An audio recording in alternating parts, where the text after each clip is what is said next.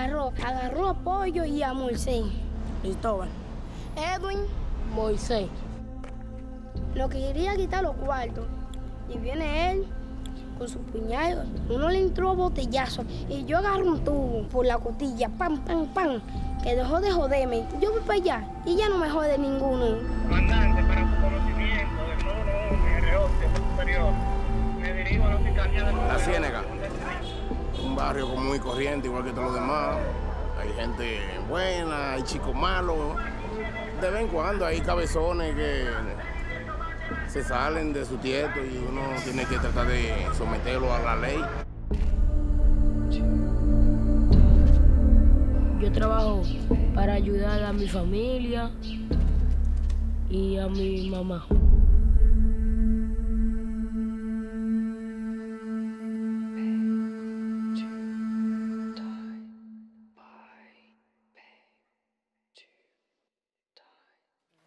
Por mí de esa camisa.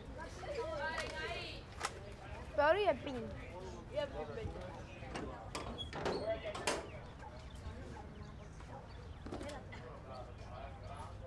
No la voy a dejar aquí, ¿no? Cuando tenía nueve años, algunos me daban 15, 20 y 25. Lo daba a mi mamá y el otro le daba a mi abuela. Si yo no tengo a veces y no tengo cuarto, yo le digo a mi mamá que me dé 10 y compro líquido. Cuando yo era chiquito, a mí me gustaba estar siempre con mi abuela, porque mi mamá me daba demasiado, bien, demasiado duro. Ella siempre discutía con mi abuela, porque a mi abuela nunca le gustaba que ella me diera golpe. Y no sé qué pasó con mi mamá y mi papá, y, eh, discutieron, se separaron. Y me quedé viviendo con mi mamá y mis tres hermanos. Mi mamá tiene un colmadito y vende chitos en la silla.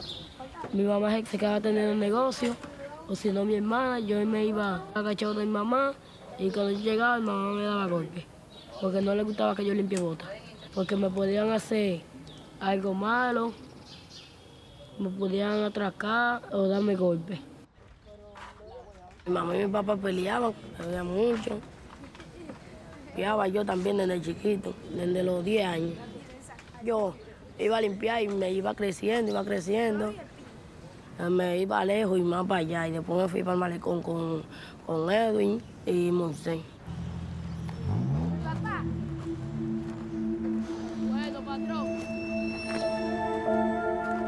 Papá, vamos parados, vamos a limpiar. Patrón, usted sepa. Usted sigue corriendo y me deja los zapatos. Y yo se lo leo. Yo fui a limpiar zapatos con Cristóbal y Edwin. Ahí había una gente, unos chamaquitos, sí, con pistola y bolita y con cuchillo larguísimo. Un día yo estaba limpiando y un amigo mío, como que tenía algo conmigo, mandó a otro y me quitaron lo que yo tenía. Y yo tenía mil pesos en menudo y él me lo quitó. Un día estaba atracando por el destacamento y lo agarran y lo mataron. Tenía 15 años. Oh, claro que me da miedo. ¿Qué? Oh, que me maten.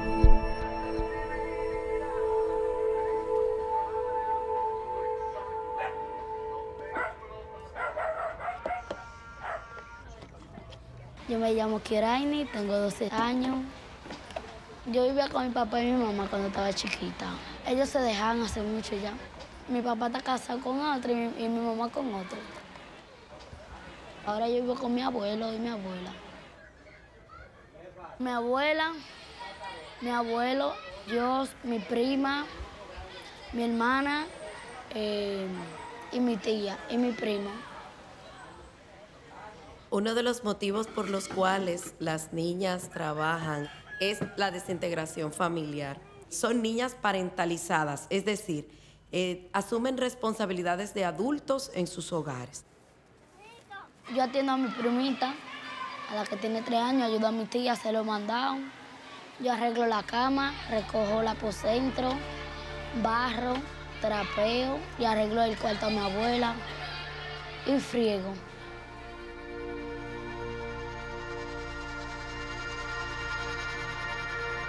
En las casas hay unas carencias increíbles. Ve que en la calle se ven expuestos a muchísimas cosas. Hay drogas, hay violencia, hay, hay hasta prostitución. Vendo plátano, señor, vendo plátano. Yo estaba vendiendo plátano con mi papá. Él me dice que da mucho y yo no sé qué. No son conscientes de que es una violación a su derecho, a su ser niño, el estar trabajando en la calle. Ellos lo ven como algo muy bueno porque están contribuyendo con su familia.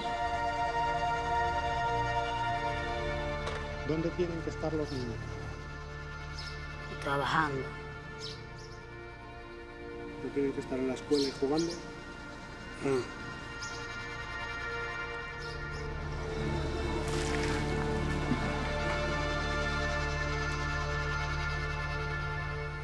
Cuando yo nací, mi mamá estaba presa.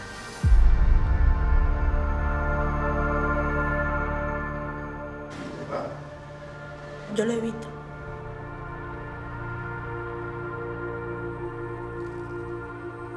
¿Lo que quiere? No, porque él tiene muchos hijos, pero él, él no, él no es bueno con ninguno de sus hijos. No, yo puedo conseguir 600, 700, así.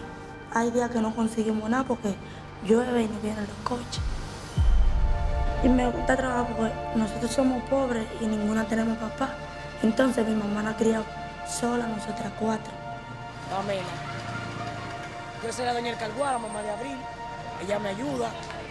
Y yo hago esto para, para buscarme el pan, para sobrevivir con mis hijas. En República Dominicana las cifras son astronómicas. Estamos hablando de más de 340 mil niños y niñas que siguen en este mundo del trabajo infantil.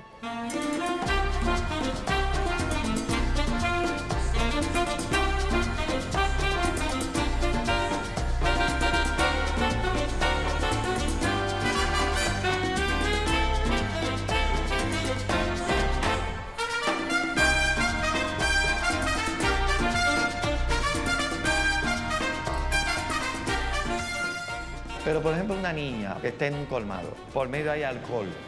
El alcohol es una de las bombas de tiempo más para el abuso, para el maltrato, para la violación. O sea, el trabajo infantil hay que eliminarlo, porque lo que estamos promoviéndole y entrando en, una dinámica de dañar toda la vida del niño en todos los aspectos.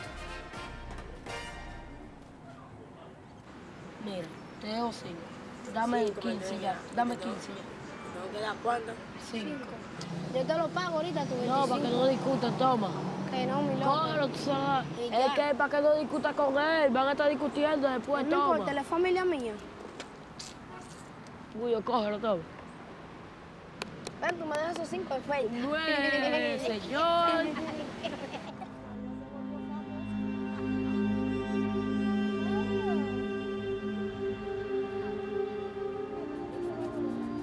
Muchos de ellos se inscriben en la escuela, pero la deserción suele ser muy grande, porque al no tener las condiciones para aprender a estudiar y encima el trabajo en la calle, eso los va formando como malos estudiantes, tienden a repetir.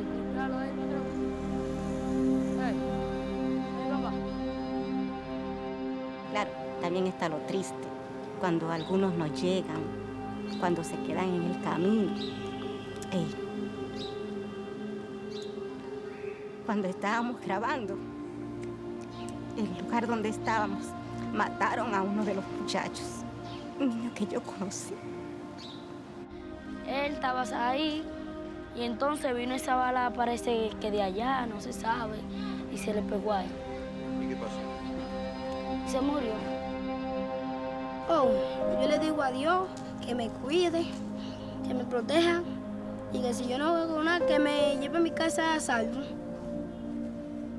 Señor Jesús, en este día que usted está, en esta hora, yo te pido que usted me acompañe, que me salve, que me cuide, me proteja, que yo llegue a mi casa sano y salvo, en que sea no haga nada, Que me llegue alegre. Amén.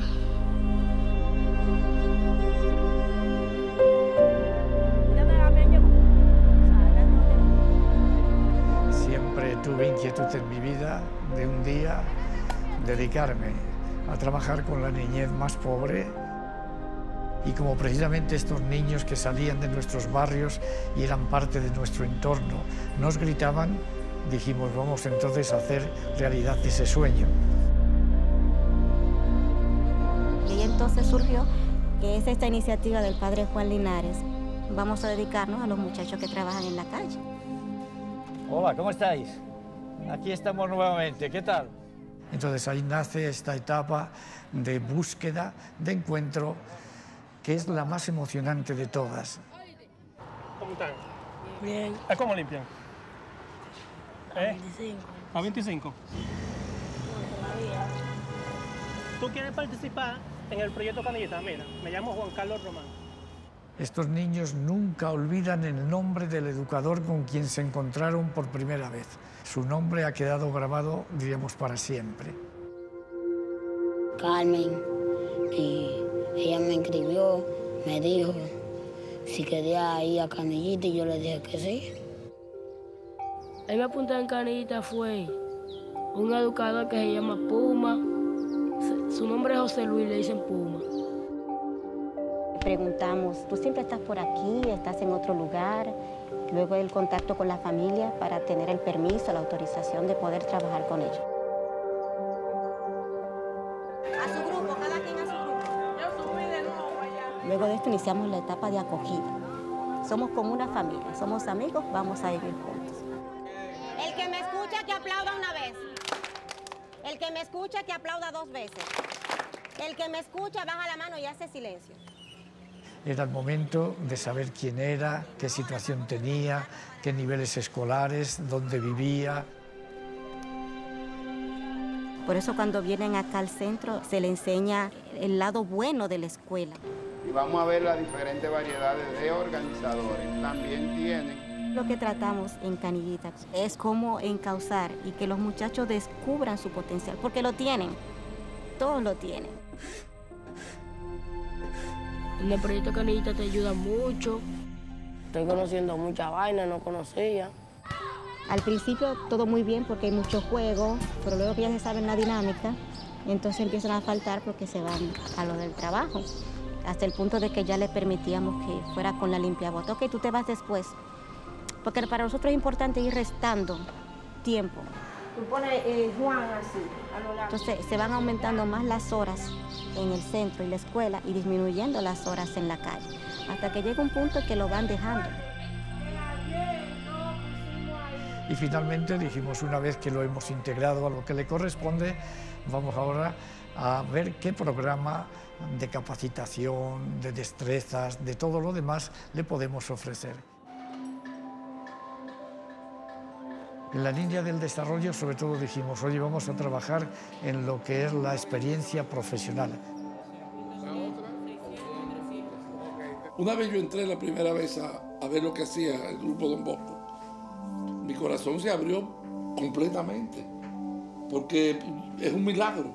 Es transformar un niño de la calle en un ser humano con principios, con valores, que el día de mañana se convierte en un profesional, no solamente un profesional, sino un extraordinario profesional.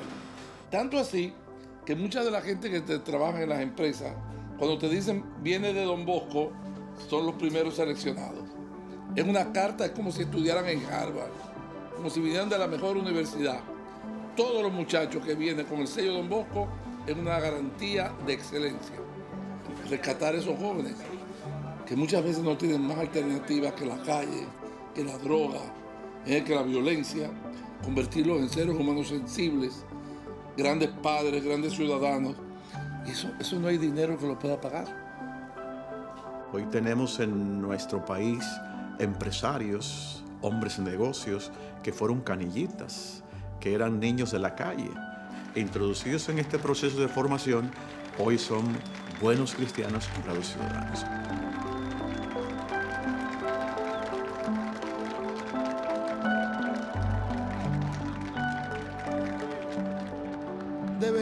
Trabajar en la calle, limpiando zapatos, eh, vendiendo pambolitas.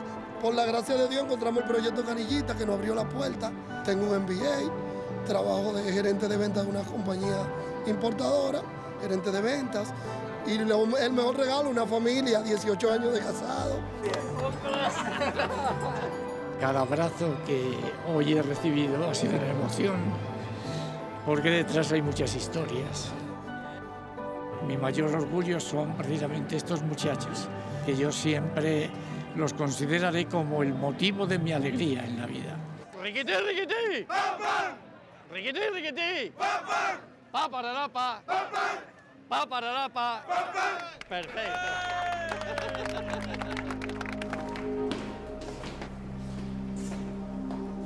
Nuestra experiencia con muchachos y muchachas con Don Bosco fue muy significativa en la redacción de la nueva ley de la niñez y también por la participación del organismo rector del CONANI. Saludando a ustedes. Saludos.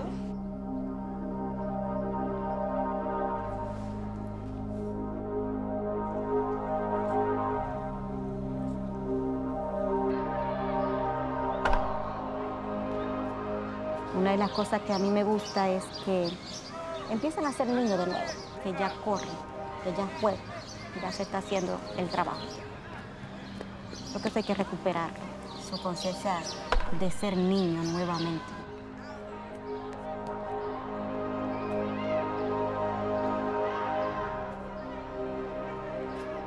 Ahí en yo juego, a hacerle tareas, me enseñan a escribir, a leer, a contar. Canillita es un lugar muy preferido para mí, que ahí yo aprendo mucha vaina. Mira, yo no sabía leer y aprendí a leer. Mi vida cambió de que yo entré a Canillita, te ayudan mucho, te enseñan a leer, a escribir y a ser buena persona. Me encanta la matemática. El trabajo salesiano y efectivamente cambia, transforma. Es eficaz, eficiente y efectivo y es de impacto.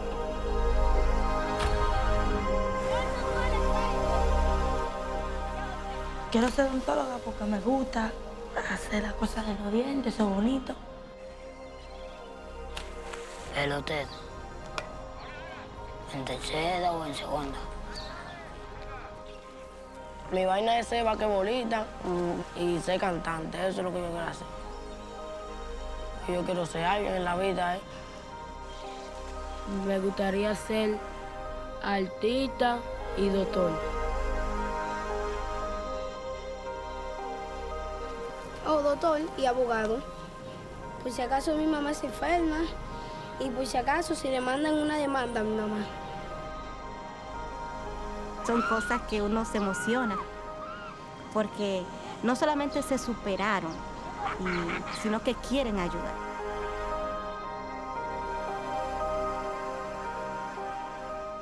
Ante tantas cosas negativas, el que, aunque sea uno solo, llegue, eso cambia muchísimo.